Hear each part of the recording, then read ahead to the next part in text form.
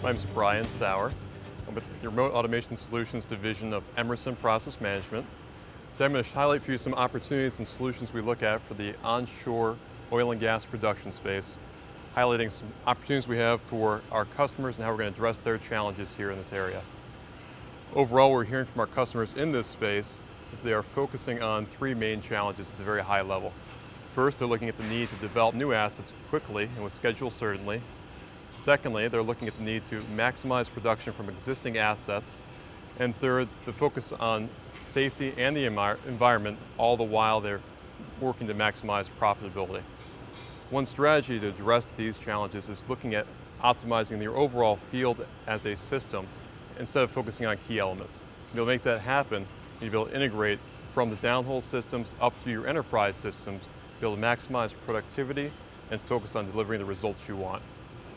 With that in mind, we're going to go through a step through the process here for downhole instrumentation to the wellhead, well test, and separation areas, all the way through production separation stages.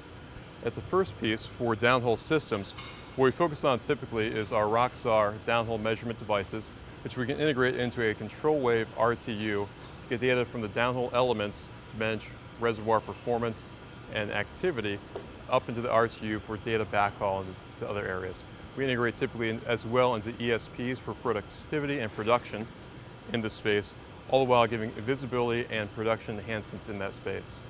When we come from the downhole elements up into the wellhead, we see a lot of different instrumentation options here, including Rosemount transmitters and other temperature, pressure, and flow measurement devices at the wellhead. Typically, these devices are integrated either wired, wirelessly, or through advanced field buses into either a ControlWave or a ROC RTU.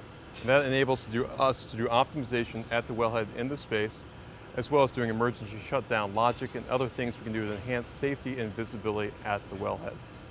Now the next process flow from this space is typically for the customer site when 8 to 12 wells are integrated into a manifold station. At this station, typically what happens is we integrate these flows into a single stream, but to do that and also be able to see what's happening at each well, there's typically a well test application at those locations.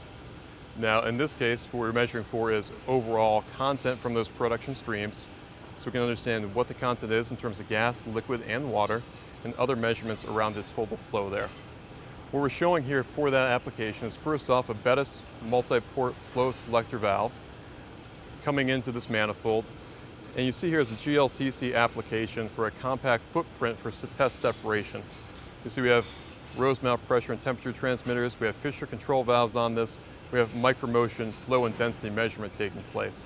All this can be used to get a test separation measurement done before that flow is re-aggregated into the overall process stream and this flows back to the overall total production facility. What happens for us here is we aggregate this data into a ROC or ControlWave RTU to perform a net oil calculation right here on site and to manage this process. We use wide area telemetry solutions, including satellite communications, microwave radios, and broad area spread spectrum radios to get that data from the field back into a SCADA solution. We use our open enterprise system to aggregate this data into an overall systems view of your dispersed field assets. From this point, we typically end up at the overall GOS to do the gas oil separation. Now, at a gas facility, what you'll tend to find is that's an advanced process requiring advanced process control. You have centralized power and operations there. So that's an ideal application for DeltaV in these instances. So overall, what we're highlighting for this is that we can come through and take data from the field, integrate that into an open enterprise SCADA system.